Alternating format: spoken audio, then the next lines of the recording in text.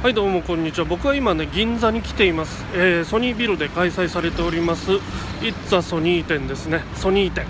ねこれまでの過去のソニーの名機などがねずらりと並んでおりましたけどもね。なかなか楽しい展示でしたね。あのテープレコーダーオープンリールのテープレコーダーがねちょっとおかしなことになってたというのもありましたけどもそれもねどうやら治ったようでね。まあ、オーディオばっかりねフィーチャーされてた感がありますけどもインターネットではね。インターネットで得る情報はオーディオばっかりなんかフィーチャーされてるなと思ってたんだけどビデオカメラ、ね、ハンディカムとかね僕の大好きなものもね結構あるよ、えー、結構あるというかね大切なものはねもう全部そこにあった。マイファーストソニーとかもね、えー、ありましたし、うん、好きなものはたくさんありました、えー、皆さんもね是非行ってみるといいかなと思いました。まあ、それでねなんで銀座にいるかっていうととある用事があってなんですけどもそれはまたね近いうちに